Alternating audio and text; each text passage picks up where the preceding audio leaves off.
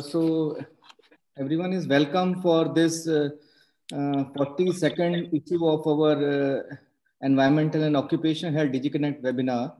And uh, today the guest speaker is uh, Dr. Vipul Nautiyal. And Dr. Vipul Nautiyal is MD in radiation oncology and associate professor of Swami Rama Himalayan University, Dehradun. Uh, may I request our president, Dr. Gajen Kumar sir, to give the welcome address. Uh, good evening, friends. I welcome you all to this 42nd issue of our webinar series. And uh, I welcome our guest speaker, uh, Dr. Vipul Nautiyal, who is a oncologist, uh, radiation oncologist. And uh, the topic is important because after this COVID, we, we are in, in a very short time, we are going to see a lot of lung complication post-COVID. And he will be discussing about lung cancer and uh, new strategies in radiation oncology. So with these few words, I welcome our speaker and I welcome all the participants to this uh, webinar series. Thank you. Uh, thank you, President sir. So uh, Dr. Nautiyal, uh, uh, this is the Association of uh, Industrial Physicians, Occupational Physicians, and the Public Health Physicians from across India. We are from Indian Association of Occupational Health, and uh, we are we are from Delhi branch of uh, Indian Association of Occupational Health. And uh, today, the as our president said, this topic is very important for every one of us, and uh, this lung cancer actually it is the most frequent malignant neoplasm in most of the countries. And the main cancer related cause of mortality worldwide uh, it is in both the sexes. Both male and female they are equally affected by this and for uh, us it is important uh, why? Because the occupational exposures they also cause a lot of uh, lung cancers and air pollution also. Because we are from ENOCH that is environmental and occupational health. And we, our main aim is to to strengthen our initiatives towards occupational and environmental health of uh, our workplaces. So as I told you that environmental exposure, in addition to the uh, known factors like uh, uh tobacco consumption, genetic susceptibility, poor diet, and uh, air pollution, occupational exposures, they play a significant role in the lung cancer etiology.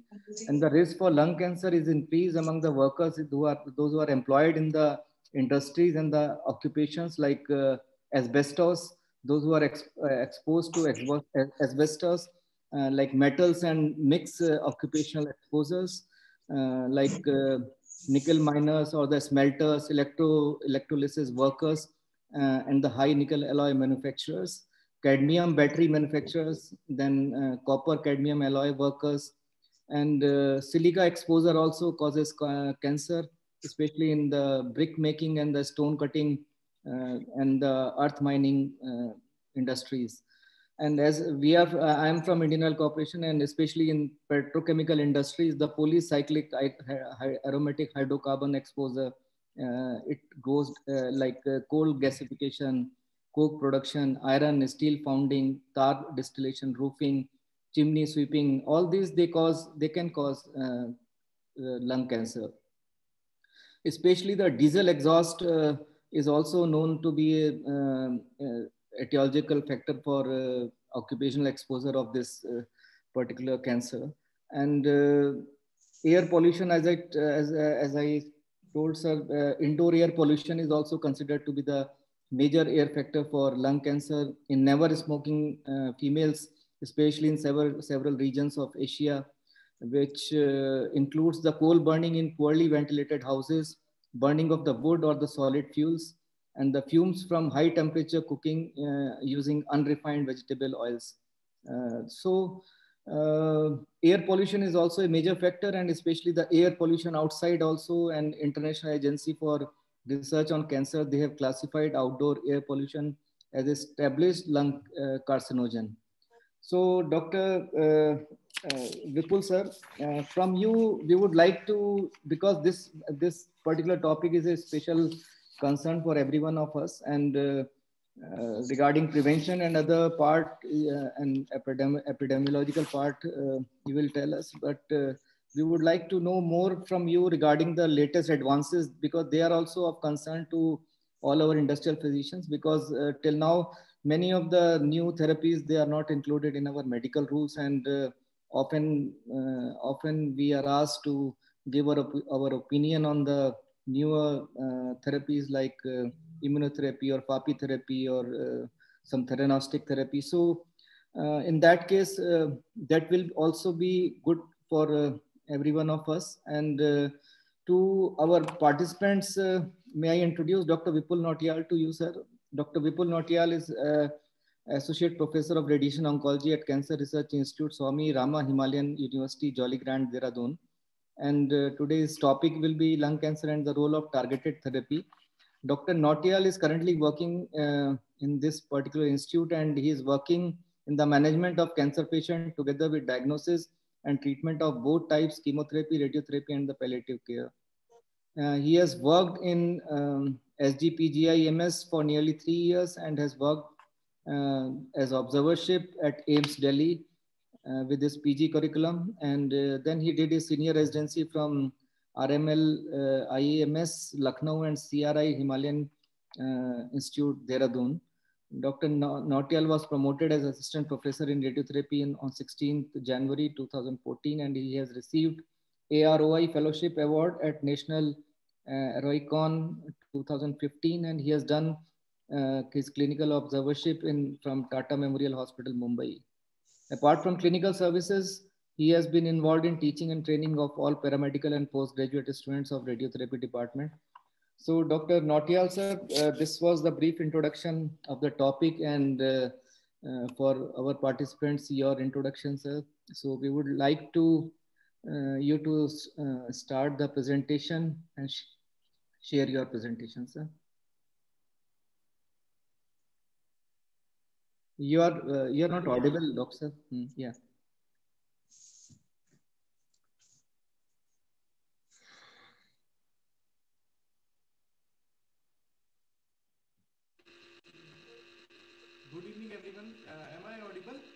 The uh, volume is low actually.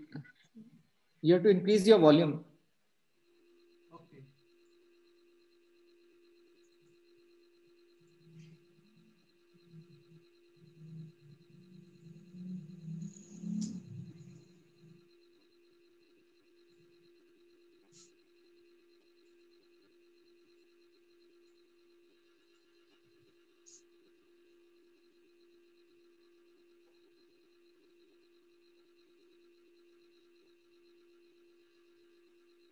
Good evening, everyone.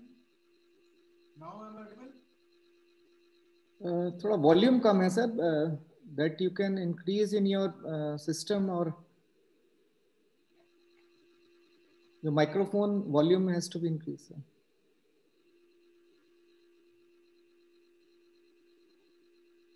For inconvenience, I don't know why this system is, uh, speaker is not working. I don't know why. It happens. It happens. Sir. No, no problem. Yes. So uh, today I'll be discussing about the uh, lung cancer and uh, what are uh, the stages and what are the epidemiology risk factors as well as the uh, uh, staging workup and the newer advances like treatment in advanced lung cancers, targeted therapy, and further details of the treatments.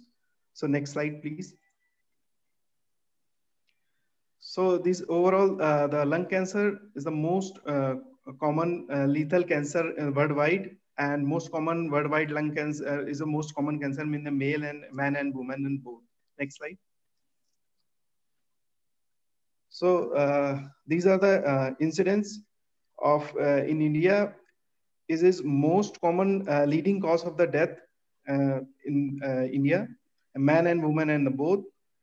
And almost in 2020, 88,000 uh, cases were detected uh, in uh, 2020 of the year, and the mortality was very high, and almost 80,000, 523 patients were died. So a lot of mortality, it the uh, lung cancer uh, accounts uh, 7% of the all new cancers. And approximately 85% of the, these lung cancer are non-small cell lung cancer.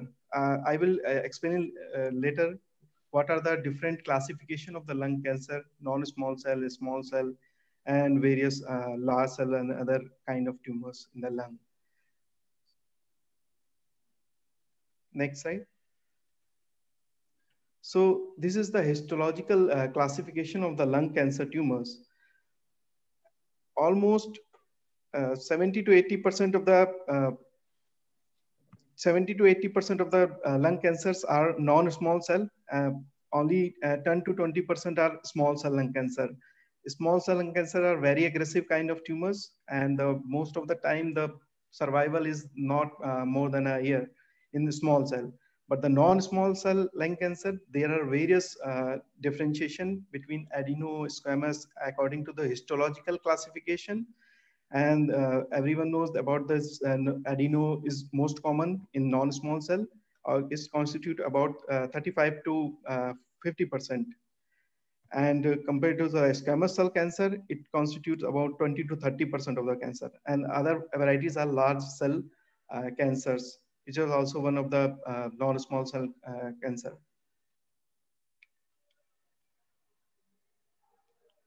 Next slide. So these are the risk factors uh, of uh, lung cancers. the most common cause of the lung cancer is the tobacco smoking. So uh, this 85 to 90% of the lung cancer are caused by the smoking, either whether it is active smoking or passive smoking, both causes uh, lung cancer. And uh, it also depends on the how many packs uh, per year you are using, packs year you are using uh, of smoking, and that may lead to the lung cancer. So uh, if the patients who are doing the smokes 20 packs, uh, 20 cigarettes per day. So almost uh, in a year, he's doing uh, continuous to the uh, 12 pack per year. So uh, the if patients who are using 20 pack year uh, more than smoking, then he is coming in the high risk of the risk, high, high risk factor for the lung cancer. In those patients, the screening and all then should be done. Although in India, it is not recommended or not possible not feasible because of the population of the India. But in the country, in the West, they are you doing uh, screening in the lung cancer who are uh, doing uh, 20 pack per year, more than 20 pack year, and also who are um, uh, more, more than 50 of the age, or those patients who are having the family history of the lung cancer or any kind of mutation in this family. So they have to be, they, those patients should be uh, screened early just to detect early kind of uh, tumors. So early stages diagnose, uh, if the uh, if lung cancer diagnosed in the early stages, and the cure rate is 90 to 100% in those patients. So uh, tobacco smoking is one of the major major risk factor which can be avoided because tobacco smoking is um, sh uh, should not be done either whether active or whether the passive age, as I said, the more than 50 or 65 year of the age, uh, it causes uh, lung cancer. Uh, the other, the exposure to the radon, many times this, uh, the environmental, uh, this uranium changes into the radon gases that may accumulate in the lung and causes damage to the cells inside the lung cancer cells uh, lung cells and normal cells, and that may lead to the changes in the DNA that leads to the uh, proliferation of these uh, normal cells uh, may change into the cancerous cell. There, there are various other exposure or environmental carcinogen which also causes uh, lung cancers. As uh, Dr. Sandeep has said about the asbestos fibers, these are the major occupational hazards which may lead to the lung cancer and may predispose to the uh, carcinoma. And other the radiation radiation is also one of the factor which also causes the lung cancer but uh, it's a very late effect of the radiation. Most of the time it appears after uh, 15 to 20 uh, years of the uh, radiation and uh, the low dose radiation is more harmful than the high dose radiation so the patients who were treated for the carcinoma previously like Hodgkin lymphoma or breast cancer, they may uh, have this uh, uh, lung cancer. They, the probability of the lung cancer in those patients may be more. The but histology is different. Like angiosarcoma or sarcomatous uh, tumors, probability is more in those patients who has received radiation previously, who had a history of radiation. Personal or family history of lung cancer. This is also one of the important factor. So many kind of mutation uh, that may lead to the uh, normal cell change into the cancerous cells many tumor suppressor gene or promotion of the oncogenes that may lead to the uh, lung cancer.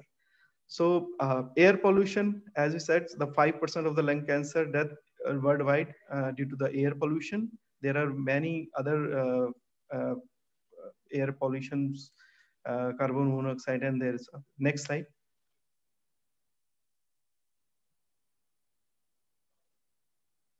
So these are the various uh, risk factors as I discussed in previous slides. So radon, asbestos, environmental, genetical, and smoking is the most common risk factor.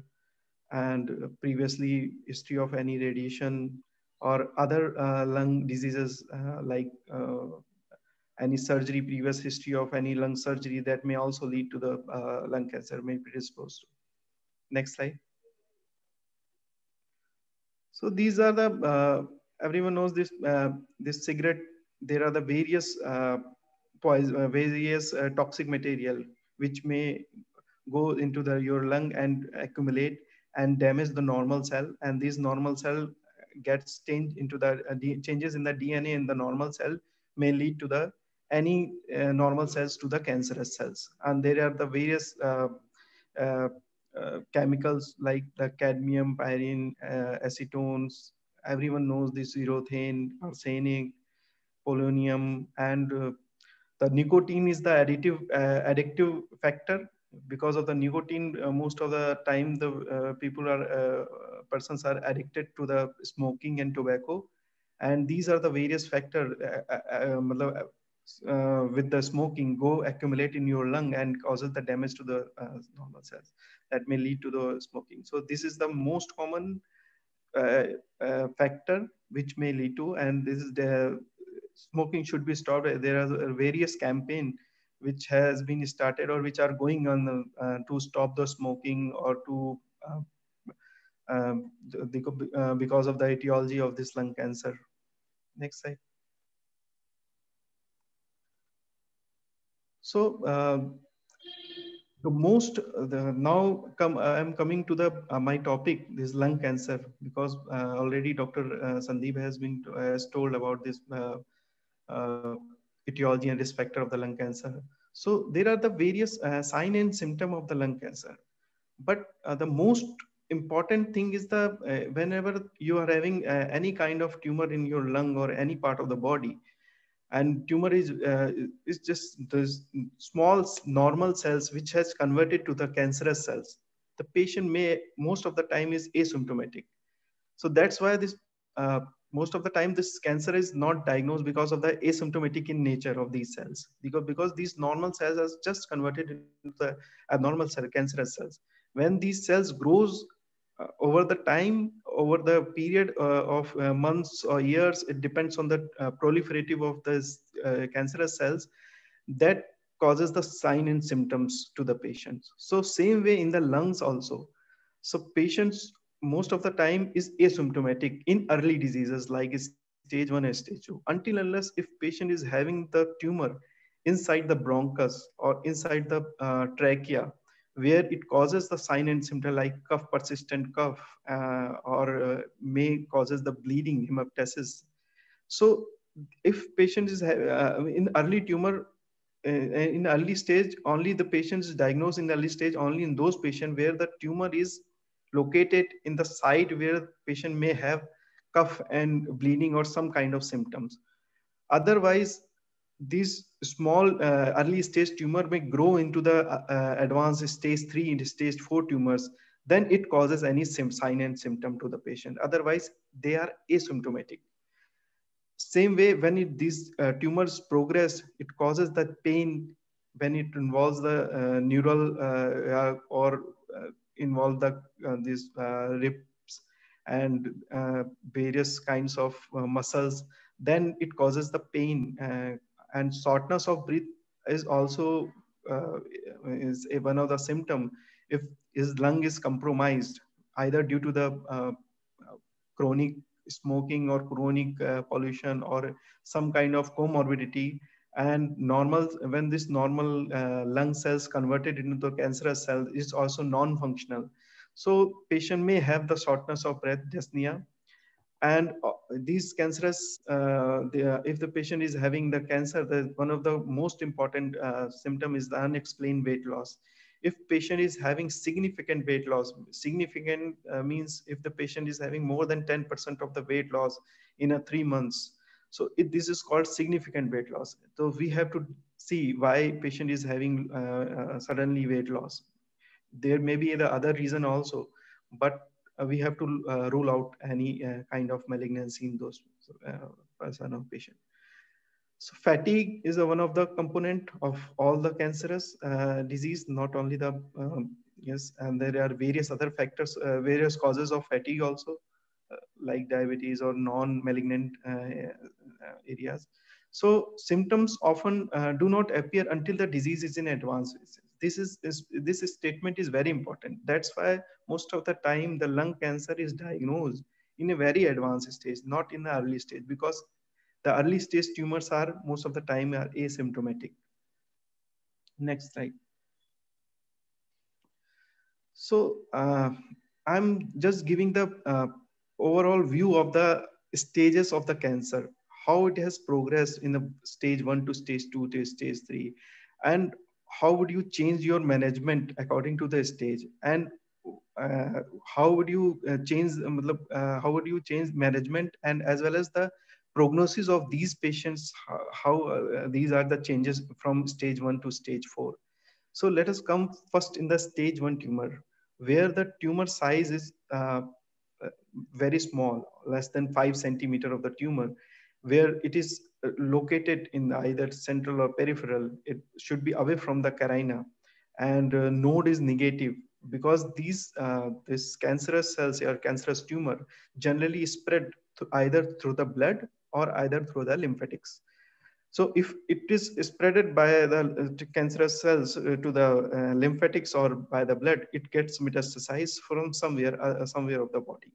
So initially it metastasized to the regional lymph nodes, most of the times lymphatics, or if, if it progress, uh, progress uh, in the advanced stages, then it may metastasize from the blood goes uh, it may go to the other parts of the uh, body like liver bone brain anywhere it can go so it will become the uh, whenever the disease is grows and it gets metastasized. So in stage one most of the time is, is localized tumor uh, less than five centimeter and uh, no lymphatics involvement. And these uh, tumors is the survival rate of cure rate of these tumors are 90 to 95 percent. And it's rarely it gets diagnosed only by the screening or if the tumor is very small and is present in the very uh, uh, in, present in the very uh, area where patient may have the symptoms like cough or bleeding or something so it can uh, the patient can diagnose or incidental finding is one of the important many times patients are undergoing x-ray for some other reason and it find there is a nodule in the lung uh, so in those cases, we can diagnose uh, an early stage.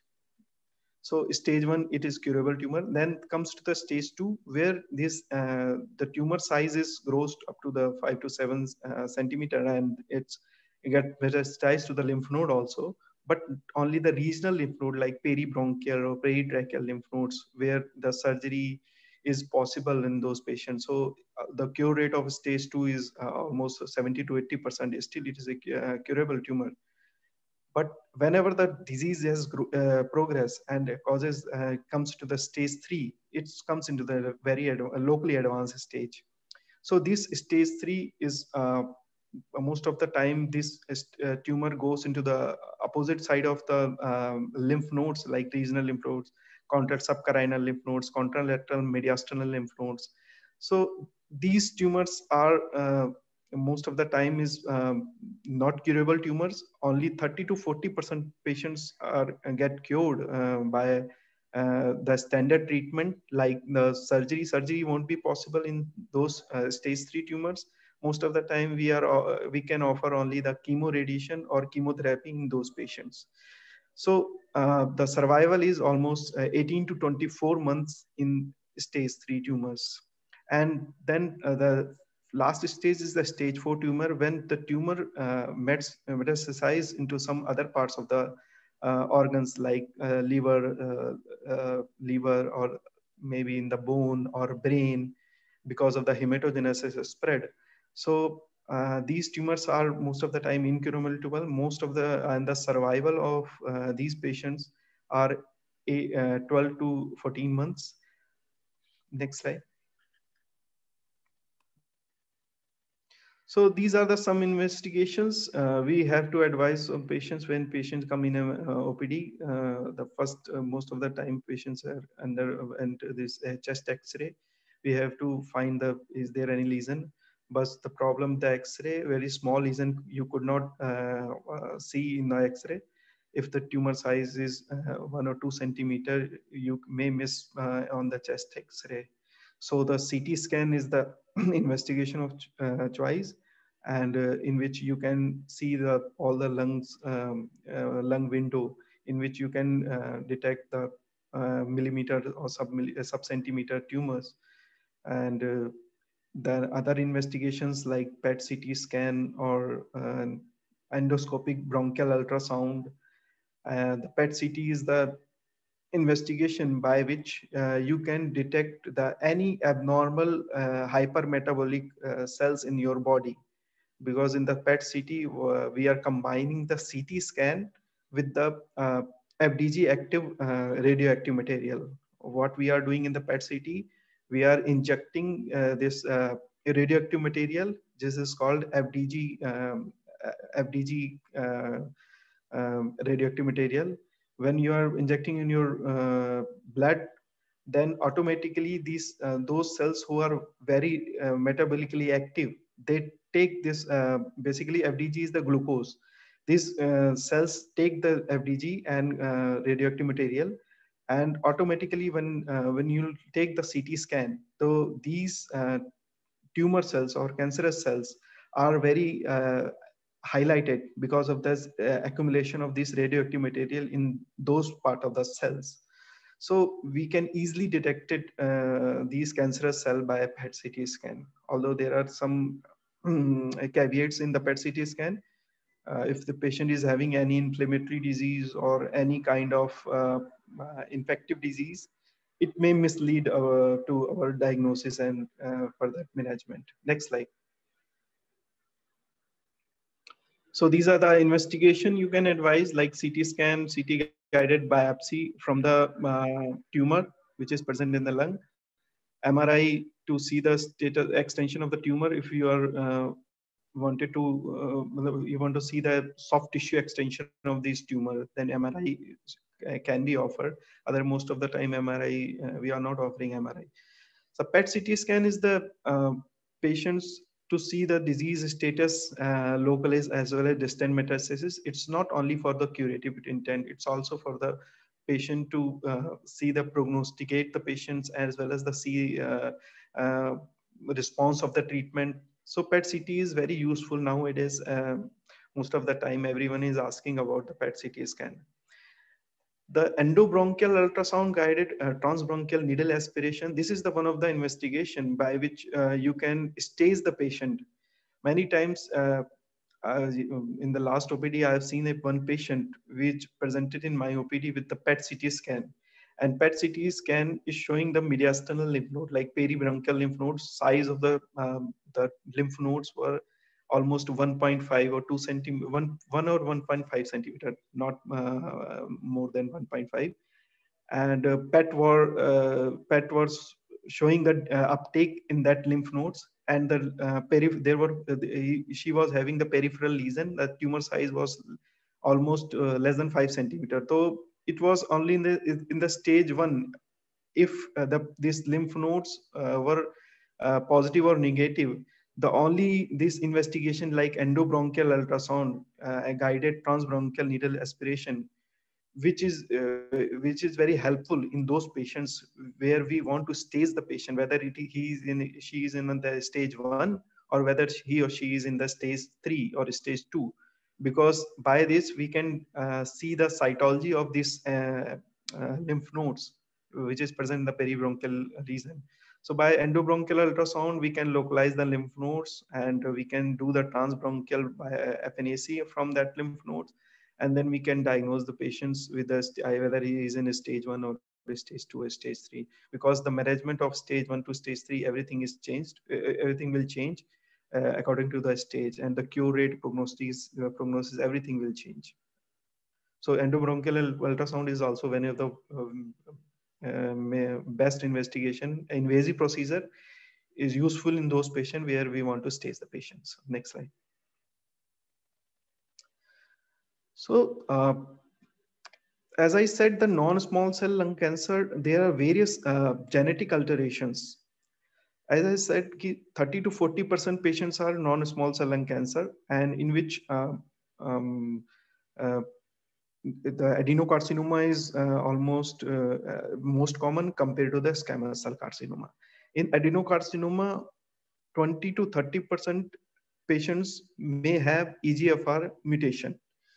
So I will uh, discuss in later uh, what uh, the receptor is EGFR and how would, how would you benefited by detecting this EGFR mutation in those patients who are having the locally advanced disease. Same way, uh, the ALK mutation is uh, present only to 5 to 7% of the patients who are ALK.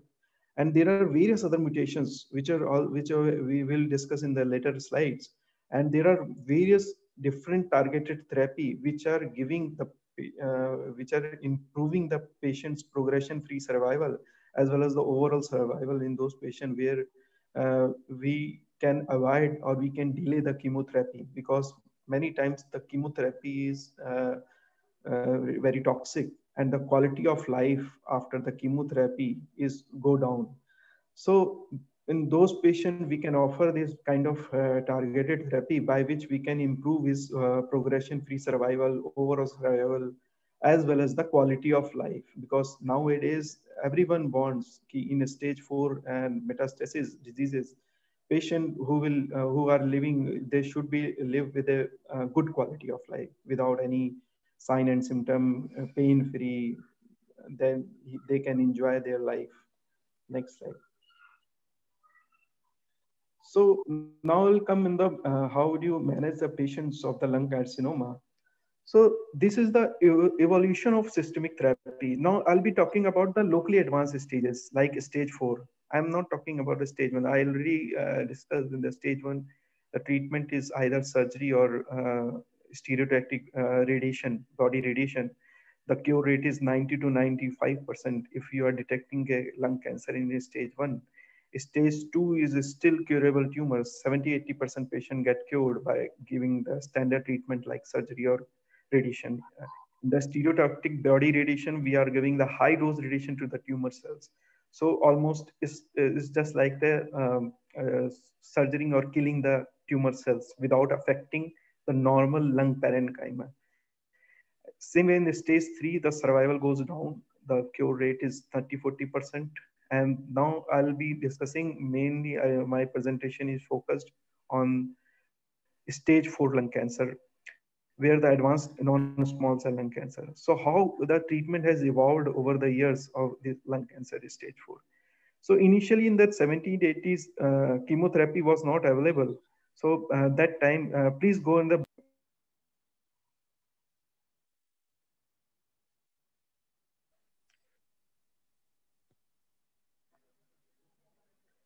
So please, uh, 19 70 to uh, 70 80 there was uh, no chemotherapy available. The only single platinum agent then that time the survival was within a month two months four months not more than that. But over the years that in 2000 when the taxane has come there's a it's, it's uh, landmark chemotherapy is very uh, useful in all lung cancer breast cancer uh, stomach. In all malignancy taxane ha, has been used over the years and the survival is increased uh, to 8 to 10 months then 2003, the first generation TKI was discovered, like erlotinib and gefitinib, in which uh, they have improved the survival in a 10 to 12 months. And the patients who were uh, exposed to these time targeted therapy, they were having good quality of life without um, uh, affecting the quality of life. These uh, targeted therapy were giving the good progression-free survival in those patients who were uh, having the, uh, the response to this TKI. Then later on, the second generation TKI like afatinib uh, were discovered, and this afatinib is also giving the good um, uh, quality of life with improving the progression-free survival as well as the overall survival in the stage four patients. And then next, the third generation of the TKI like osimertinib has been discovered, which is uh, also increases the overall survival in uh, metastatic advanced lung cancer. Nowadays, in these patients who are having these mutations, uh, they are surviving more than a uh, three to four year. Next slide. So these are the various uh, targeted therapy which has been, uh, which we are using in the different kind of uh, mutation and the different. So now uh, look at the non-small cell lung cancer. Previously, it was a disease, only a single disease, like the cancer of lung. And it is non-small cell because small cell were uh, small cell is very aggressive. So most of the time the uh, no uh, treatment of the small cell is only chemoradiation or, or palliative treatment. But the non-small cell lung cancer is a single uh, uh, entity.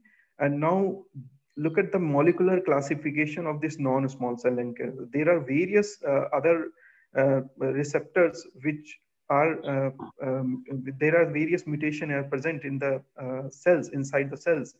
And nowadays uh, the they are hitting and targeting only these mutations. So the the without affecting the other normal cells of the body if you are attacking targeting only the tumor cells then automatically patient will have the good quality of life without any side effects of the treatment so these are the uh, various uh, mutations and the various uh, targeted therapy which are now nowadays approved. Like in the EGFR, there is afatinib, erlotinib, and uh, and these these are the mutations. Uh, these are the targeted therapy as a first line. Second line, if the T790 mutation present, then osimertinib can be offered. For ALK positive diseases like ceritinib, gefitinib, ROS1, uh, ceritinib, crizotinib, and alectinib, and ROS1 mutation, uh, this ceritinib and alectinib. And there are various like NTRK, HER2/neu, like TDM1, trastuzumab, or uh, if and then the PDL1 is the one of the um, um, immunotherapy is basically used for the PDL1 receptor. This PDL1 receptor, if it is overexpressed, if it is more than 50% or uh, still is, is less than 50%, this uh, immunotherapy is the one of the treatment nowadays which increases the overall survival as well as the progression free survival. So i'll i'll be discussing in our uh, later presentation. The next slide. So this is the uh, basically current non-small cell lung cancer treatment therapeutic profile like chemotherapy according to histology subtype without any molecular classification of the uh, tumor if targeted therapy can be offered like EGFR, L-ROS1 or some um, MET mutation, BRAF mutation, there are various other, other than checkpoint inhibitor like immunotherapy, which are acting on the anti-PD-L1 and PD-1. Anti-CTLA, we also one of uh, this uh, immunotherapy. So these are the mainly the uh, treatment for the locally advanced metastatic stage four diseases. Next slide. So as I said in previously that a non-small cell was the one disease previously. Now it has, uh, by the histological classification, it's divided into the adenosquamous or large cell tumors. But now look at the uh, classification according to the molecular uh, biology. So the molecular classification, there are various, these uh, heterogeneity, there is various kind of mutations present if you are hitting the proper uh, uh, mutation by the proper targeted therapy, the patient will have good overall survival, progression-free survival with a good quality of life. Next slide. So this is the EGFR. Basically, the EGFR, there are four kind of mutation uh, can be can occur, like exon 18, 19, 20, 21. Is the most common is, uh, is the uh, 19 mutation, exon 19. The 46% of the uh, mutations are exon 19 mutation. Exon 18 is very rare, and uh, 21 is L858R is also one of the second most important mutation percent uh, in the non-small cell lung cancer. And in exon 20, the T790 mutation generally uh, is very less, initially 4.1%, but later on it may uh, come in uh, whenever you are uh, exposing the patient with the targeted therapy. Next slide. So this is the basically treatment algorithm of uh, the uh, stage four non-small cell lung cancer adenocarcinoma if uh, the mutation is present, initially you can give the first or second generation uh, TKI. Most of the time, uh, people offer the uh, uh, osimertinib or afatinib, by which you can uh, give the good progression-free survival. And later on, again, you have to check because these mutations are changing over the uh, months. Whenever you are starting a patient with the targeted therapy, after one or uh, uh, two year, patient may have may get the resistance to this targeted uh, agents, and there are a lot of mutational occurs changes in the mutation occurs that causes the resistance to the initial targeted therapy. So you can may change to the second line of uh, targeted therapy like this. Uh, if T790 mutation this is present, so T790 mutation can be uh, um, uh, can be controlled by this uh, second line targeted therapy like osimertinib. If T790 mutation is absent, then the chemotherapy would be the last option to offer to mm, stage four patients. Next. So this is the NCCN guideline. Uh, there are uh, various uh, category one offered uh, targeted therapy in stage 4 patients if EGFR mutation present. Although osimertinib is uh, preferred regime, but the afatinib and other uh, targeted uh, therapies are effective. And it is it, uh, these are the giving the good quality of life with improve the progression-free survival as well as overall survival. Next slide. So let's come into the toxicity of this targeted therapy. So what kind of toxicity patient may have? Because uh, this uh, the most common side effects is the rashes. If uh, if, if you are giving this targeted therapy to these patients the only side effects major most common side effects is the rashes. Patient may have the rashes. Many times stage uh, grade 1 grade 2 rashes uh, so though no inter no need to intervene the targeted therapy if patient is having the grade 4 uh, skin reaction like blisters, pustules or something, then we have to stop this uh, targeted therapy. Then and those patients we have to offer the steroid local as well as the uh, oral to uh, just to control the side effects of these rashes. Although, but it's most of the time it is tolerable, um, and the rashes, if patient is having rashes, that means patient is responding to this targeted therapy. So it's also a positive sign if patient is having the side effects like rashes. Because these rashes are occur basically uh, present of the EGFR uh, receptor in your body. If EGFR overexpressed, then patient will have the rashes. So other side effects like GI toxicity, diarrhea, many patients develop the uh, loose motions. Uh, so uh, we have to stop in that if patient is having more than four or five episodes of watery diarrhea, then we have to stop, yeah, hold on uh, this GI toxicity, although, but the toxicity profile is very less compared to the chemo. Chemo is uh, very toxic and this targeted therapy most of the time are um, um, acceptable. Most of the time, patient is not having any kind of uh, sign and symptoms. Next slide. So uh, this is the uh, basically TKI when the gefitinib first generation TKI was uh, discovered. So this is the forest plot of uh, various study uh, which have showed the benefit of uh, giving this uh, gefitinib and erlotinib based targeted therapies.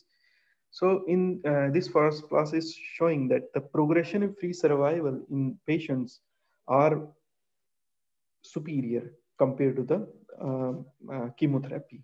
Next slide.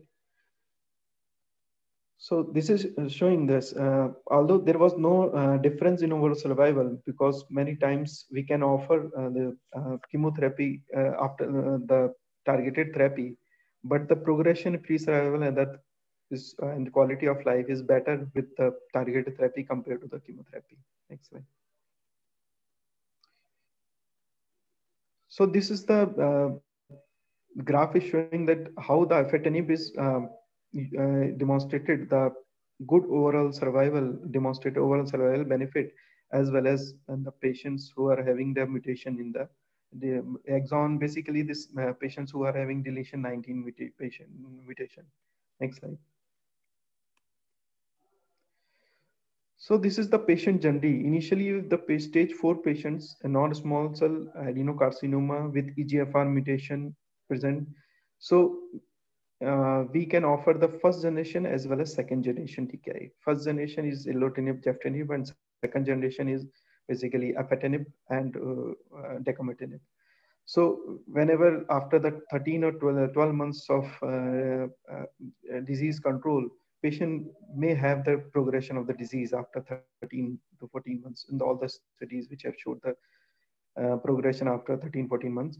So then again, you can uh, see the mutational analysis on those patients. If the patient is again having the T790 mutation, then you can offer the third generation targeted therapy like osimertinib.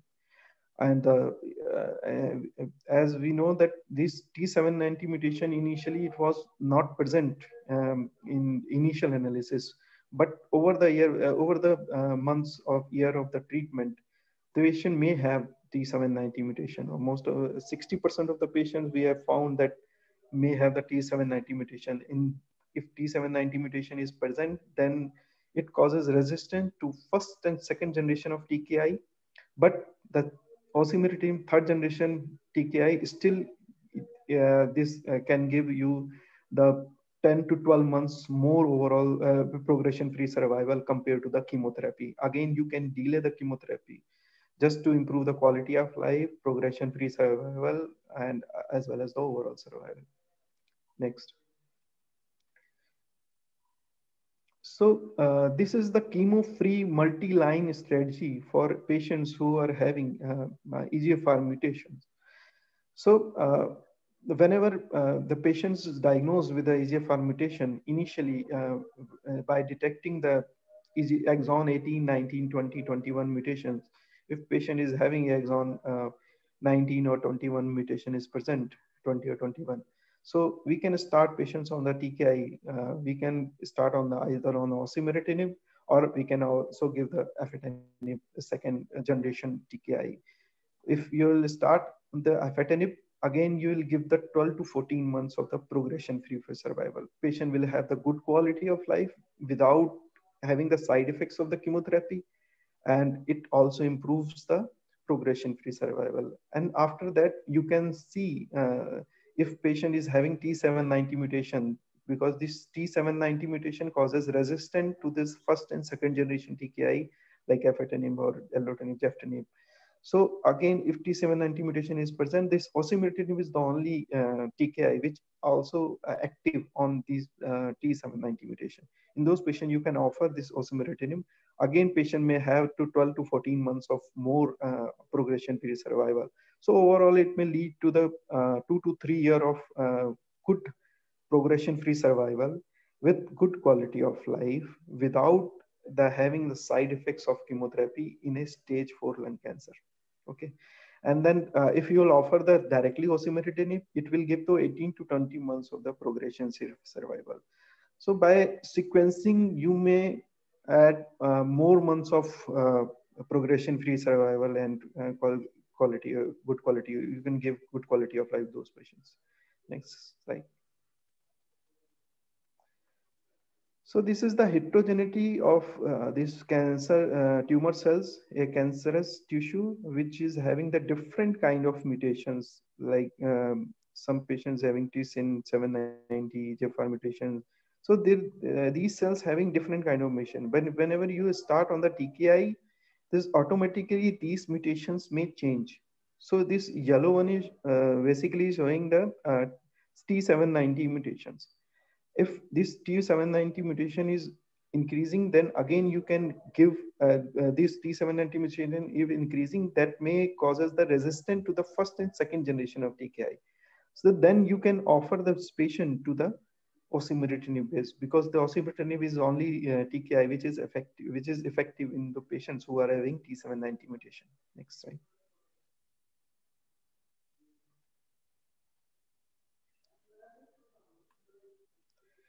So sequencing, if you are uh, giving uh, the um, TKI in a sequencing way, so you may offer the patients with the, you may increase the patient's uh, progression-free survival or overall survival. Previously, previously we have, uh, I have shown that the, the patient is stage four disease, the survival is 12 to 13 months. But now now look at the uh, by uh, the patients who are having these EGFR mutation. To 20, 30% patients who are having non-small cell or uh, females, adenocarcinoma or non-smokers or Asian. In these patients, the probability of EGFR mutation is very high. And those patients, if you offer this TKI, the automatically patient, you, you will give the patients with a good quality of life and increase progression-free survival and overall survival. And it uh, you can give the patients up to uh, two to three years of a good uh, uh, control of the disease with the good quality of life. Next. So this is the advantage of basically sequencing. Uh, if you'll sequence the patients with the afatinib followed by osimertinib, as I said previously, these T790 mutations um, because most of the time this first and second generations uh, TKI resistance because of this T790 mutation. So it occurred over the one or uh, one and a half year. That why this is this TKI is non-effective after one or uh, one and a half year because of these um, changes in the present of the mutation in the cancerous cells. So by sequencing, you can give um, 45 months of the uh, progression or median overall survival. Although progression survival is very uh, uh, 15 to 20 months, but overall survival will increase because after that you can offer the second generation, uh, third generation TKI, and then you can offer the chemotherapies. The uh, lastly you can offer also chemotherapy. So 80% of the patients are they are alive after the two years. Next. So these are the molecular mechanism uh, of acquired resistance to uh, first and second generation uh, TKIs. The most common mutations, as I said in previous uh, uh, uh, previous slides, the T790 mutation is the most common the mutation which causes the resistant, which if it is present, it causes the resistant to the first and second generation of TKI. Rest of the various other mutations like MET amplifications or HER2 trial, there are the unknown factors. These also causes the resistance to the first and second generation TKI, but T790 is the most common. But uh, um, T, if suppose uh, patient is having T790 mutation, then you can offer the third generation TKI like osimertinib. So again, you will have the um, good progression in free survival almost uh, 12 to 13 months by the osimertinib. Next slide.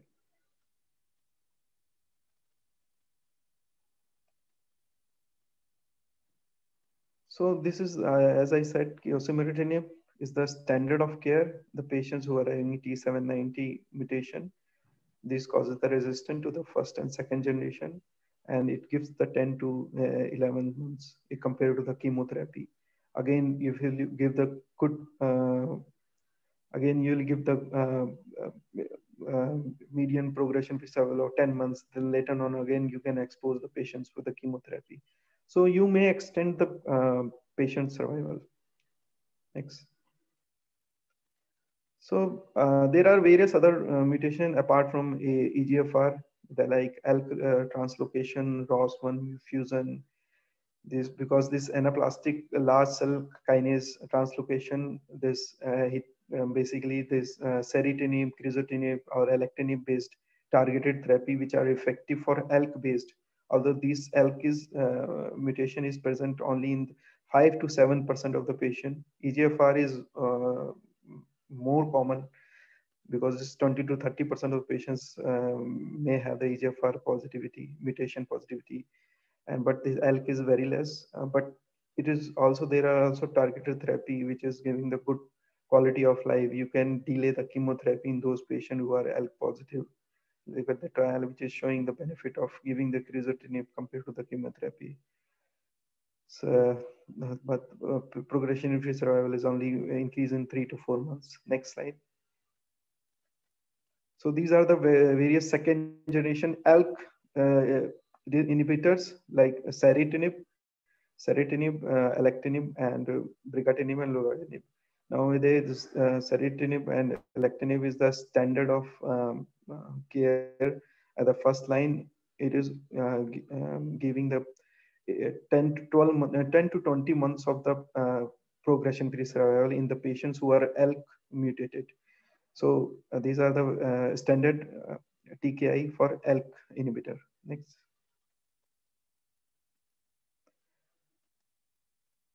So when we compared this uh, crizotinib with the alectinib or ceritinib, so automatically these uh, this alectinib and ceritinib also goes into the CNS. Um, it causes the blood-brain barrier and also reduces the uh, uh, brain metastasis. Or if patient is having brain metastasis, it also diseases the progression of the disease in the brain because in the brain uh, so chemotherapy is not uh, um, going to the uh, blood now crossing to the blood-brain barrier.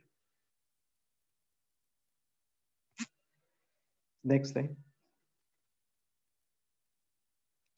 So this is one of the patients who are EGFR non-mutated but ALK positive. So after giving the ceritinib or crizotinib, so look at the response, uh, radiological response. Next slide.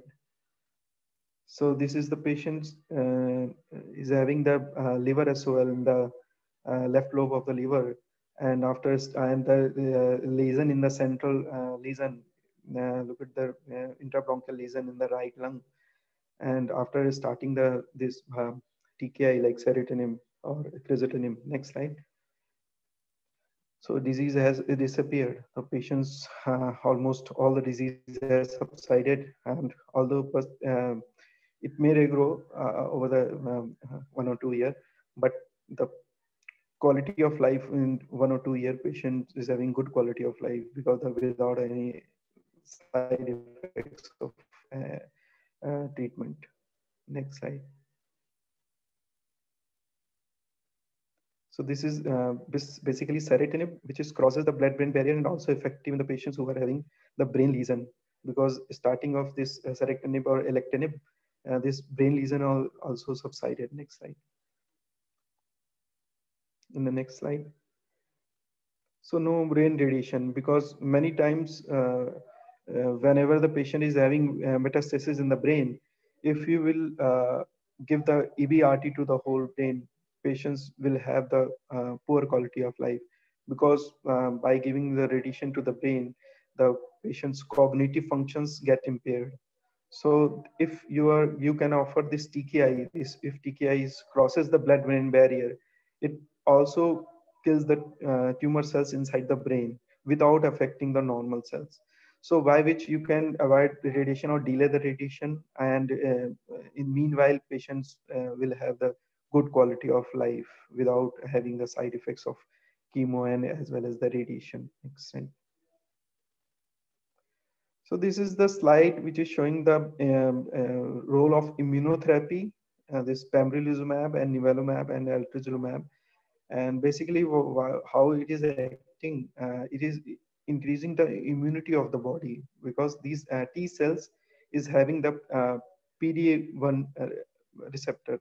And this uh, non-small cell lung cancer is uh, having the pdl1 and this pdl1 pd1 receptor matches and causes the inactivity of these tumors t cells So these T cells inactivated by these uh, tumor cells, and these T cells will not kill the non uh, these tumor cells, uh, cancerous cells. So what is uh, these immunotherapy? This is the PD-L1 inhibitor. It, it, it attaches the uh, PD-L1 of the uh, tumor cells. And now the T cells will become activated and it kills the um, uh, cancerous cells. So automatically it increases the immunity by activating this T cells. Next slide. So this immunotherapy is indicated in patients who have having without any EGFR or ALK aberration. And uh, most of the time it combined with the chemotherapy, standard chemotherapy. And uh, if the patient is having the PDL1 expression is more than 50%, the chances of uh, uh, the response of this uh, immunotherapy is more.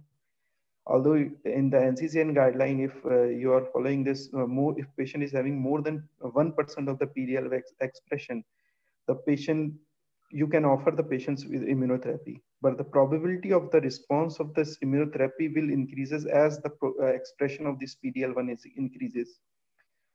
So in patient with EGFR ALK aberration, the disease progression is a split of standard care with the TKI. Or uh, in the patients who are having non-mutation, uh, though in those patients, if the PDL1 is expressed, you can offer the immunotherapy in the last stage, later stage of the uh, cancer. That's so these are the various immunotherapy um, presents. Although uh, this uh, slides, uh, these uh, um, immunotherapy you can offer in both squamous as well as non-squamous cells. You have to see the uh, expression of the PDL1. If PDL1 is uh, more than 1% of the expression, then in those patients you can offer this immunotherapy either as a single or you can combine this immunotherapy with the standard chemotherapy. Next. So the benefit of this uh, immunotherapy is in the patients who are having um, more than 50% of the expression, the, those patients will have the uh, more benefit of this immunotherapy, although progression-free survival of five to six months. But and the patients who are having um, overall survival is uh, 15 to 18 months. So there are evolving, there are various uh, investigations as well as the treatment uh, has been evolved over there. Now, uh, in future, you may have this kind of liquid biopsy in which uh, most of the time we are uh, advising the patient by doing the biopsy or CT guided or ultrasound guided to the tumor cells, whether it is a lung or somewhere in the part, part of the body. Nowadays the concept of liquid biopsy is uh, coming up in which uh, what you are doing you are taking the blood sample of the patients. In the blood sample you are extracting the circulating tumor cells in your uh, body. These circulating tumor cells are uh, the mm, normal tumor cells uh, which are circulated in your body. And uh, these by which you extracting these circulating tumor cells you can see the detection you can detect the mutation in the tumors. So this is the one of uh, by which you can detect the EGFR as well as the EGFR mutations. So uh, many times the patient is uh, very weak or comorbid or uh, age, suppose 80, 70, 80, 85 year age, he cannot uh, go for invasive procedure like CT guided FNAC or biopsy. In those patients, if you want to detect any kind of mutation, then you can offer the patient the liquid biopsy by which you can detect the mutation or you can, uh, by detecting the mutation, you can offer some kind of targeted treatment. Next.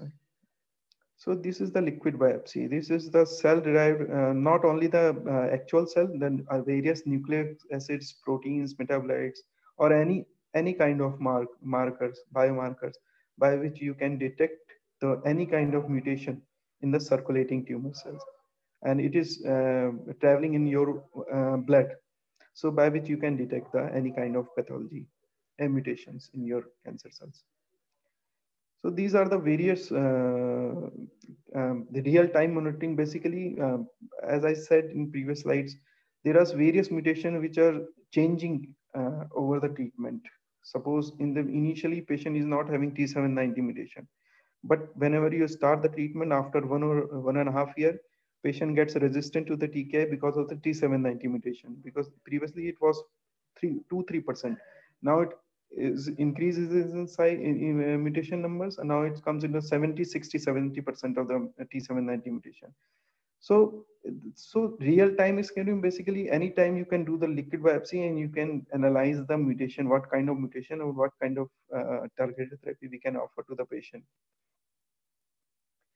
So same way in the liquid biopsy, there is also one of the next gene sequencing, uh, which is not a slide is not uh, this uh, next sequencing is not there, in which what we have, uh, what nowadays what uh, the practitioner are advising, they are doing the various uh, different kind of mutation, like 50 or 60 mutations in your tumor cells.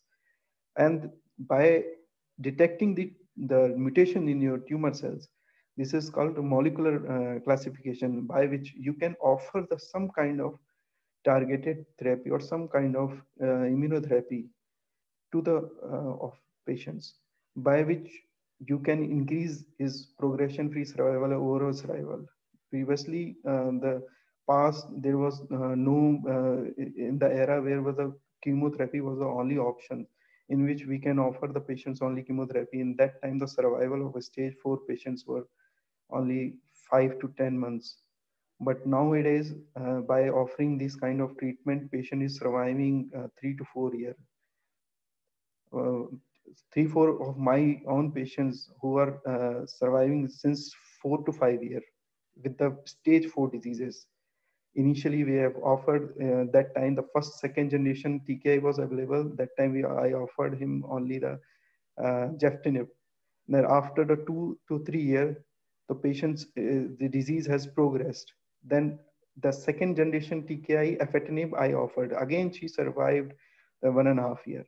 So she survived almost four to five year with the uh, with the uh, stage 4 metastatic disease. So we have to identify the patients according, uh, not only according to the stage of the patients, we have to detect the patients, uh, identify the patient.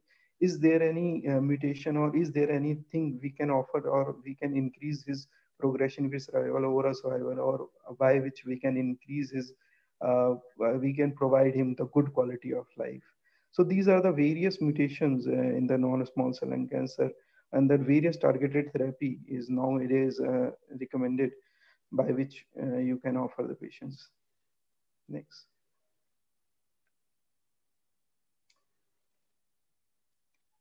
So this is the one or two slide of small cell lung cancer uh, in which uh, the standard treatment, uh, the chemoradiation, because it's a very aggressive tumors. Uh, most of the time, the patients comes into the extensive stage, not the initial stage. So that time you can offer only the chemo and radiation. No targeted therapy has been detected. One or two uh, recently is coming uh, for the small cell also, but still the standard treatment is uh, only chemo radiation. Surgery is uh, is in the very early stage. Most of the time, uh, surgery is uh, is not possible. Next slide. So these platinum-based and etoposide-based uh, chemotherapy. This uh, atezolizumab is recently approved for uh, targeted therapies in advanced small cell lung cancer, but still um, it is not available in India, and the benefit is only uh, two to three months. Although there are immunotherapy is uh, recently on the uh, treatment like anti-CTLA, ipilimumab, and as well as the nivolumab, PD-L1 inhibitor second and third line, but still uh, it's is not very useful in small cell lung cancer. Next. So radiation, uh, as I said, in the early stages, uh, stage one, stage two, SBRT, stereotactic body radiotherapy, basically is killing the all tumor cells, uh, very high doses to the um, tumor cells without affecting the normal tissue. The cure rate in stage one is 90 to 95 percent either by SBRT or either by the uh, surgery. And the, for the advanced stages, the uh, chemotherapy and as well as the radiation, both we can offer the patient. Next slide.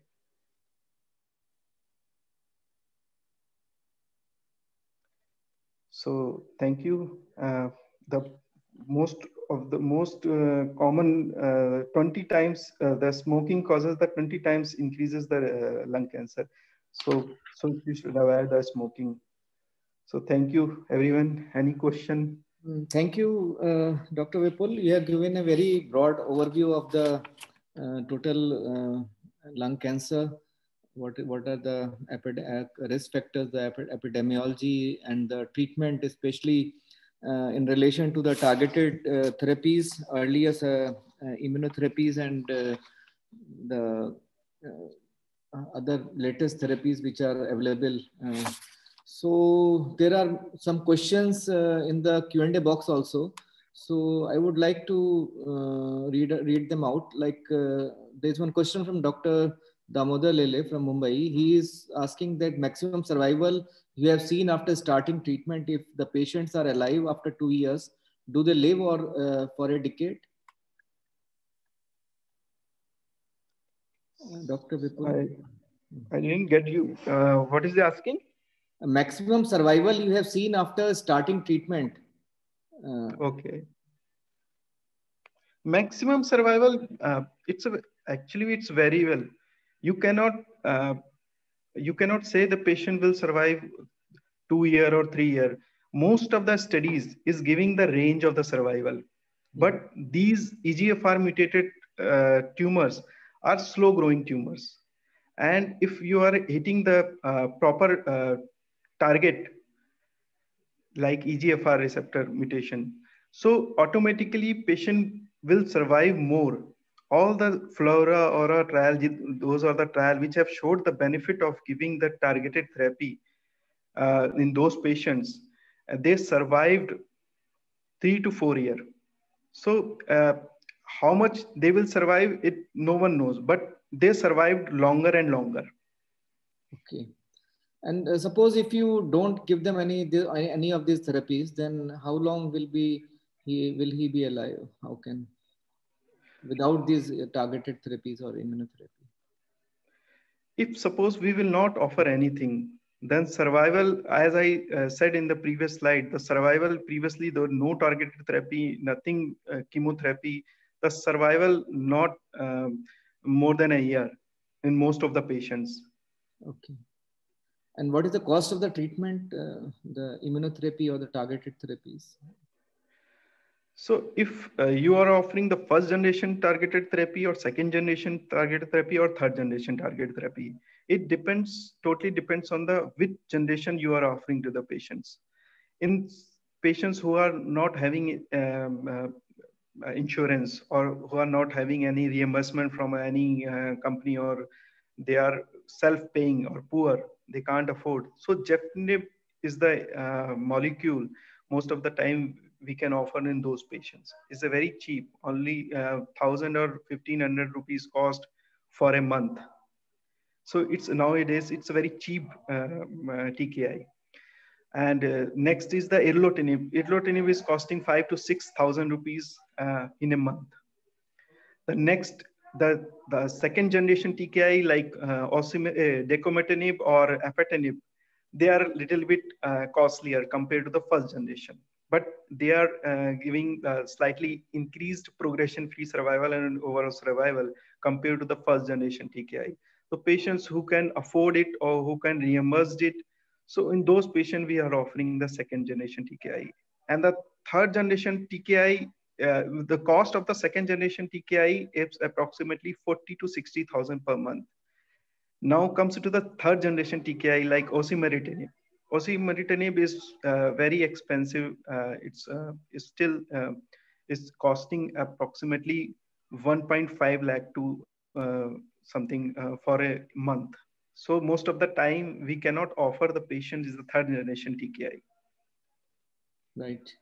Uh, there's one question from Dr. Naman uh, Utreja. He is asking, uh, please throw some light in use of TKI with radiotherapy in non-metastatic lung cancer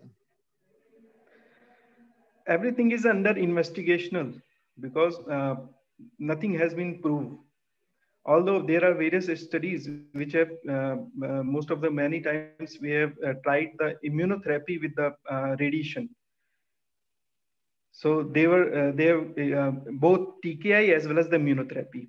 The but the concern is that toxicity like pneumonitis because these uh, like targeted therapy as well as the immunotherapy both causes the pneumonitis uh, the, the, side effects. And radiation is also one of the uh, causes the pneumonitis.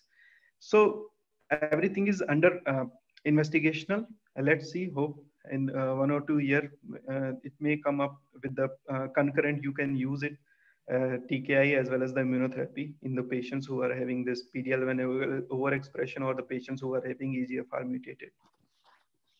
Uh, uh, anyway, Doctor uh, Doctor Vipul, I would like to like I've told you that we are all industrial physicians. We are, that treatment part in stage four is your domain. Although we we all need to be aware of the recent advances as the science grows. Uh, like we are all practicing the preventive uh, aspect of the uh, of all the diseases so the symptoms of the lung cancer actually they are delayed especially if they are not present in the if the tumor is not present in the uh, in the bronchus or the respiratory tract then in that case uh, the symptoms like you told cough or uh, hema, hemoptysis may be there but uh, elsewhere it, it will be uh, if it is a big size tumor before it is being diagnosed. So uh, can you suggest some screening methods during our executive health checkup or the people who are exposed to these sort of uh, occupational exposures as I have or you have uh, enumerated.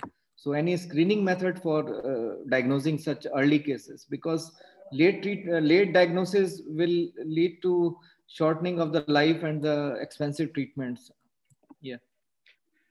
Although uh, there are the various guideline like American Cancer Screening or NCCN guideline uh, they are uh, advising the patients who are having high risk of uh, uh diseases. Like if the patient is having uh, 20 pack year of the smoking or more than 50 year of age or family history is positive in those high risk patients you can uh, in the nccn guideline or in the they they they are offering the low dose ct scan. This is low dose ct scan basically the detecting the nodule in your lung. If in, if the nodule is uh, present in your lung, if the size of the nodule is uh, 6 mm or uh, less than 6 mm, then you can keep the patients on the follow-up. If this nodule is uh, more than 8 mm, then you have to give ask for further investigation like uh, PET CT scan or routine PT, uh, CT scan just to see whether this is this is a, a disease or something else and the, if the PET CT or some investigation is showing the disease in by which you can detect the early. But still in India, the screening is is, uh, is uh, very uh, not. I think screening is not possible. Only the head and neck, breast, and cervical cancer. These are the three may, may most common cancer where the screening is offered. Or lung cancer, most of the time, uh, no one is offering, offering for screening but low dose CTs, by which low dose CT can you can uh, uh, detect the nodule and anything in your lung, only in the high risk patients. Uh, thank you. I would request uh, our panelists to unmute themselves and they can ask the questions. Yeah, Dr. Gajen Kumar. Uh, first of all, I congratulate you, Dr. Nautiyal. You have given a very detailed presentation of a very difficult subject in a very, very simple way. So my, I, I, my compliments to you. Then uh, my question is, over the years, do you find that the uh, patient turning up for this, uh, turning up with this disease, the age profile is decreasing in say last 10 years or 20 years? Yes. Uh, there are multiple factors. Mm. Most common, uh, the uh, what we I can say this um, smoking, occupational hazards, as well as the family history. So what we are finding in the patients who are younger, so they are having the uh, family history or genetical, uh, we have to do the genetical analysis on those patients. And these smoking and occupational hazards is the one of the also most important factor, which is all, causes uh, the patient, uh, the uh, disease is occurring in the slightly younger age compared to the elderly. Previously, it was more than 65 year. Now it comes into the more than 50 year. Now it is going to the downside. So that, that shows that the level of smoking and the precautions at a workplace by wearing a filter, filters or a mask is not properly uh, taken. Because yeah. I, I, was under the impression that uh, as the health education is coming up, people are be becoming more vigilant about their health. Smoking must be going down. And people at the workplace must be wearing some filters or masks to avoid these, uh, uh, uh I mean, exposure to these uh, carcinogens. So if, if it is that the age profile is decreasing, that shows that these two factors are not working. It is the other way around.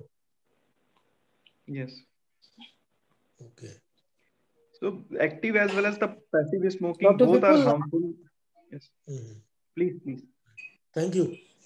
Yeah, uh, Dr. Rajiv Kumar Jain, sir, our senior vice president. Yeah. Dr. Vipul, I must uh, also uh, second what Dr. Gajendra Kumar has said. Uh, the way you have presented a very complex and challenging subject, you presented in very succinct and clear manner and concise manner.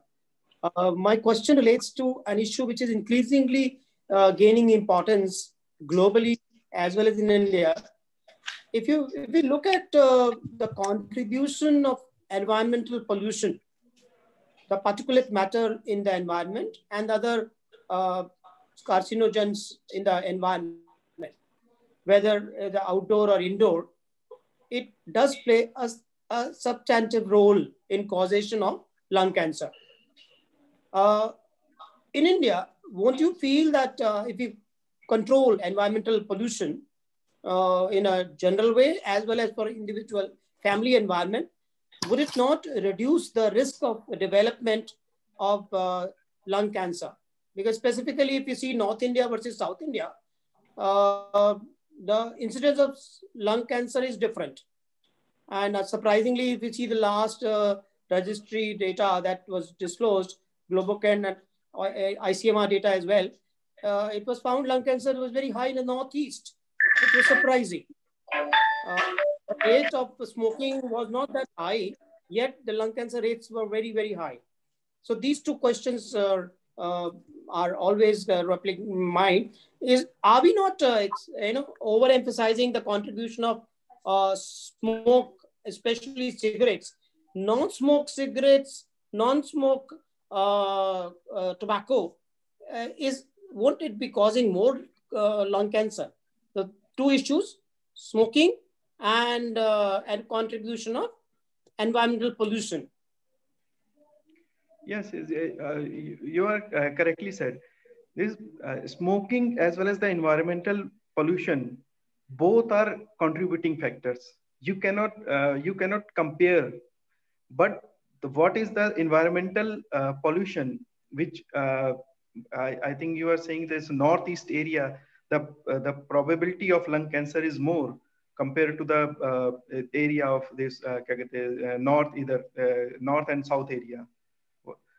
So uh, the the contribution of either the tobacco smoking or whether there's the environmental pollution, everything is leading to the lung cancer. So I can't I can't differentiate but the problem is the cancer registry also many times in the north uh, side the patients who are uh, diagnosed with the lung cancer, they are not going to the cancer registry. The cancer registry is the one of the uh, limitations, and because the Northeast, you have seen a lot of cancer registry, uh, almost four to five hospital-based as well as the population-based cancer registry is there. So they are most of the time they are documenting the lung cancers. They are detecting and then documenting, and they are giving uh, statistical data to the cancer registry. But when we are comparing the north yes. side, most of the time patient is not going to the hospital or if patient is the, going to the hospital, there is no cancer registry. So no one is documenting the uh, proper uh, uh, this lung cancer data, statistical data. So what we are looking, we are still we are uh, looking uh, uh, a very small portion of the lung cancer. Mm -hmm. But the trends uh, in terms of deteriorating environmental pollution, especially northern India, uh, should uh, lead to a conclusion epidemiological conclusion that it does have a substantive contribution because if we see northern India, we have much, much higher uh, cancer lung uh, if we compare to southern India. Yes. Northern India, uh, definitely, it's a very, environmental pollution is very high, smoking habit, everything is very high. So we are missing uh, only in the uh, data of the cancer registry because uh, I am seeing in the OPD, a lot of patients are coming in the lung. Almost um, uh, out of uh, 30 or 40 patients, 10 patients are lung cancer in very advanced stage. So almost in the uh, one fourth of the all overall cancer, but still in the data is only 7% or 10%. So still we are missing somewhere the north, the lung cancer is very common. It's not uncommon. And uh, whether you are compared from the northeast or south, anywhere. Yes. Thank you so much. Thank you.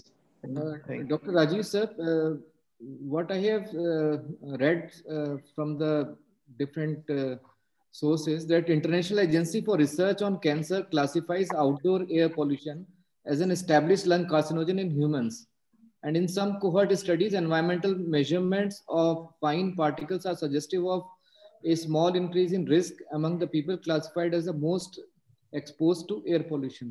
So uh, air pollution is definitely a uh, leading cause of, uh, uh and we should give important, um, uh, more importance to this uh, in addition to the smoking contribution. So it, it is a multifactorial thing which leads to the incidence of the cancer in different areas. So that's right, sir. So I, in fact, wanted to bring in the contribution that Indian Oil has played in reducing indoor air pollution by yeah. promoting, you know, uh, the uh, more uh, uh environmental friendly mode of uh, combustion, especially yeah. inside the house. I mean, yeah. Indane LPG has contributed a lot. Ujjwala Yojana has contributed a lot. If it is penetrated more, uh, it will, uh, over a period of time, reduce CA lung in the long run.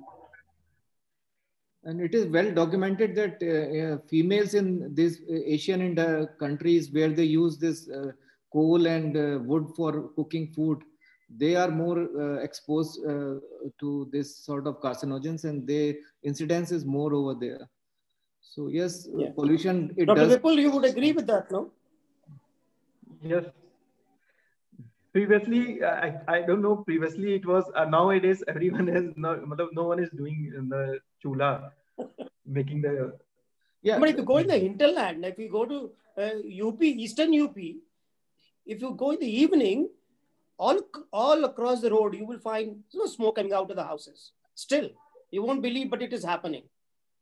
Uh, it's surprising but since we mostly live in metros we don't realize it is it is not yet reached still, uh, you know, I've, I've seen ladies in, uh, you know, they collect the wood and then burn the wood inside the house to cook, which is harming themselves. So this is a reality also.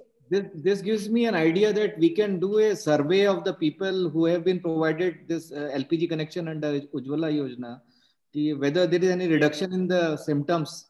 Uh, yes, yes. Yeah, that can be done. That we can suggest to the management. It, this survey can be done, sir. Yes. So, uh, Dr. Yes. Shiva Ramakrishnan, our past president from Mumbai, sir, uh, you would like to ask some question. Dr. Vipul, excellent presentation. Thank you, sir. Now, uh, I can give you one example of a case. A very close friend of mine, a doctor by profession, a non-smoker, had squamous cell carcinoma. He was put on targeted therapy. He survived three years.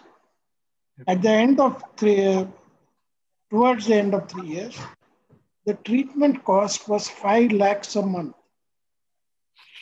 And he was told, you have to take it for two years. Unfortunately, he died, but he didn't die of the malignancy. He died of what I'm telling is becoming very, very expensive. And what happens is many organizations do, do not cover. Insurance also doesn't cover because nobody insures for one crore. Okay. Yes. So it is a big issue with this type of treatment. In fact, uh, many times the family can go into a big financial problem treating the patient. Yes. So thank you very much for the excellent presentation. Thank you, sir. Sir, you are right. Many times uh, the patients who are coming in OPD, they are not uh, very, uh, they are very, belongs to very poor family. So most of the time we are offering only first generation TKI by gefitinib or one and a thousand or two thousand rupees cost of that medicines. And the patients are surviving more two or three years on by these medicines also. So uh, let's see in future these uh, these new drugs whenever they discover they are very costly and uh, over the one or two year then uh, the, whenever the india starts making it and then it will get uh, cheaper mm. dr Tyagara sir uh, from bangalore yeah. Uh, good evening dr Vipul Nautiyal. it is great to have today your lecture your lecture is tremendously thoughtful and you are uh, most probably you are a most creative radiation oncologist. Your points are highly memorable, knowledgeable, and it is great to listen. Thank you very much for your thought-provoking and uh, yet practical insights. I would like to ask you one small question. Now, mRNA vaccine has come. This mRNA vaccine is uh, mostly on a, it is very um, within a quick time we can uh, discover this vaccine and uh, trials within nine months they have come out with this vaccine. And you also said that your radiation oncology the beams are changing the dna the radiation beams yeah. changes the dna and can we take some clue in uh, when we so quickly throughout the world, this mRNA vaccine is been going to be given. And uh, the, the radiation oncology, especially lung cancer, non-small cell lung cancer, is very costly. Sometimes even it goes to, I am from Bharat Electronics Limited. So sometimes we have given nearly 9 to 10 lakhs to our uh, cancer institute uh, means uh, we have uh, we refer our cases to cancer institute and we have given 9 to 10 lakhs also for uh, newer therapy and uh, this platinum therapy like cisplatin and all. So can we take some clue about this uh, radiation beams and about mrna vaccine? Sir, so early, early to be treated and um, expectation of life is more and uh, cost uh, cost of the, um, uh, the, this one will be less. Actually, sir, uh, what I understand that you wanted to ask the uh, radiation therapy treatment, radiation treatment regarding that. Mm, yes, yes. And the cost of treatment. Next, yeah. next second thing. Mm. Sir, actually, that it, it totally depends on the institute to institute the cost of the radiation treatment if you are going to the uh, government hospital the cost is very less almost a minimal. Uh, uh it's not costing more than a uh, 5000 or 10000 rupees. Uh, if you are going in a corporate hospitals or private hospitals who are uh, sustaining their machines because these machines are very costly. Most of the time it's coming from the us or some um, us or somewhere switzerland or germany so cost of 15 to 20 crores of these machines. So the uh, that's why they are uh, charging the patients why the patient they are earning the money. And so that's why these corporate hospitals are uh, charging uh, too high. But the, still they are not costing uh, more than 1.5 or 2 lakh for, for, the whole treatment of the radiation. In the government definitely if the government added hospitals the definitely the treatment is uh, very cheap and reasonable but in the private hospitals automatically it goes high because this uh, cost of these machines and maintenance of these machines. And uh, what you have asked another question? This mrna vaccine and uh, this uh, is there any uh, clue we can come out with a very quick uh, strategy for this radiation this lung cancer non-small cell lung cancer?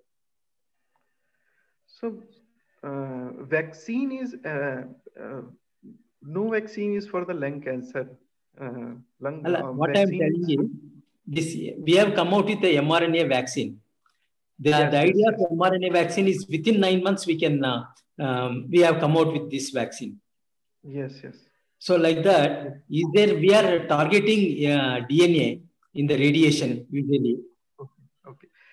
Uh, yes, basically what we are doing in the radiation, what we are killing that uh, DNA of the cancer cell.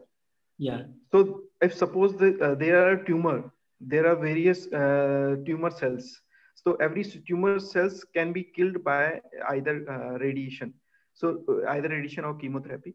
So see these uh, tumor cells, basically this DNA get damaged by the uh, radiation. So if you wanted to kill the RNA by the radiation, it also can get killed. The cells can also killed, but you have to localize the uh, mRNA, which um, in which cell you want to kill the by radiation. So that's why if suppose uh, look at the COVID pandemics, the, there are various trials which are occurring in the uh, AIIMS and uh, Max Hospital and uh, Delhi. What they were doing, and the patients who are having heavy burden, viral burden in their lungs, they have treated the patients with the radiation. So one or two gray of radiation to the whole lung by which your normal cells will not get killed. The only the uh, viral RNA uh, gets killed. So there are the uh, um, uh case series or case reports has been published. Uh, no uh, large trial has been done. So the case series and case reports has shown there is a benefit out of the six or seven patients of the series.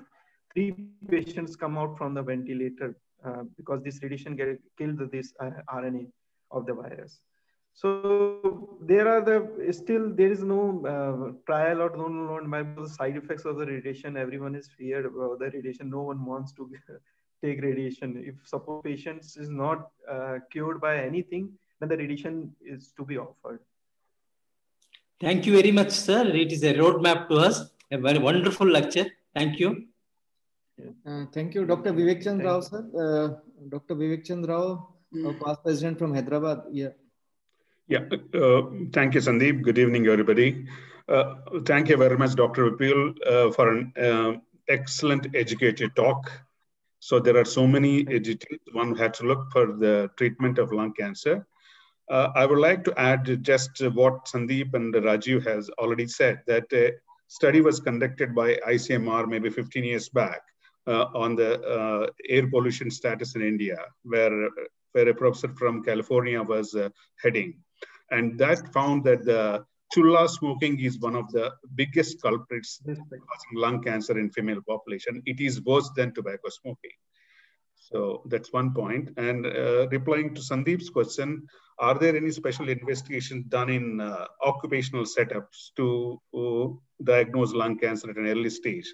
I've got very old data maybe 40 years back in US, they used to do sputum cytology to detect lung cancer in asbestos workers. And they did it for maybe more than five years, but they could not detect any case at an early stage. So that's why they have stopped that uh, practice. At present also, I don't think any uh, in a, as a part of a medical surveillance program, I don't think they are doing any extra investigation to detect lung cancer because basically all these occupational hazards are preventable. They are prevented by proper environment engineering controls. Then when, when there are no environment engineering controls, then the, uh, uh, I mean, wearing out the personal protective equipment comes. So that's all I wanted to contribute. Thank you, sir. Uh, right uh, so it means that uh, environmental control and other things they are more important in preventing the lung cancer and uh, uh, our aim for this lecture also sir was to uh, focus on the what are the risk factors for the lung cancer and the latest treatment modalities yeah. the lung cancer and because now that science is improving and late, uh, day in day out new therapies they are coming and what dr Tyagaraj was also referring uh, that uh, uh theranostics is is uh, is their uh, theranostics in which this um, the PAPI therapy and other therapies in which the drugs they are coming from Germany and on PET scan actinium loaded these drugs they are injected and they hit the particular cell and they kill the cell, uh, metastatic cell in the lungs. So uh, one case uh, in our organization also, one of PAPI therapy, he was, uh, he was asked, uh, they were, he was actually advised for PAPI therapy, but one injection was costing 7 lakh rupees. But after this one injection, sir, his, all his symptoms, they have, they have gone and he, his, his like, tumor size is also reduced, the metastatic tumor size in the lungs. So new therapies, immunotherapies, targeted therapies, all these uh, therapies, they are, yes, very important. And if someone can afford or the rates, they come down, then uh, definitely they will help the patient for increased survival and the increased uh, quality of life. And uh, in the meantime, only solution with us is to prevent the disease, control our uh, environment, and uh, prevent from smoking. We should not smoke and we should be very careful if we are working in some hazardous atmosphere as we have already elaborated, sir. So thank you, Dr. Vipul, for, for, for the nice elaborative lecture uh, on this lung cancer. And uh, we have designed a certificate for you uh, that will just show, uh, display and will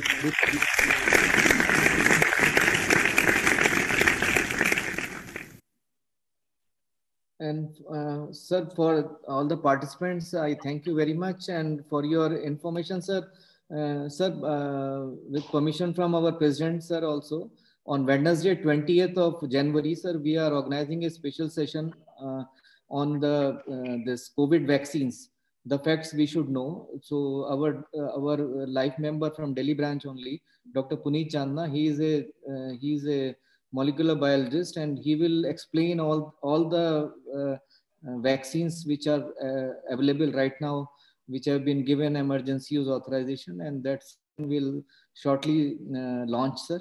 So request you all to please join that session and take the effort of for that, sir. So thank you, sir. Thank you, uh, Dr. Kajan, sir. Thank you. Thank, thank you all.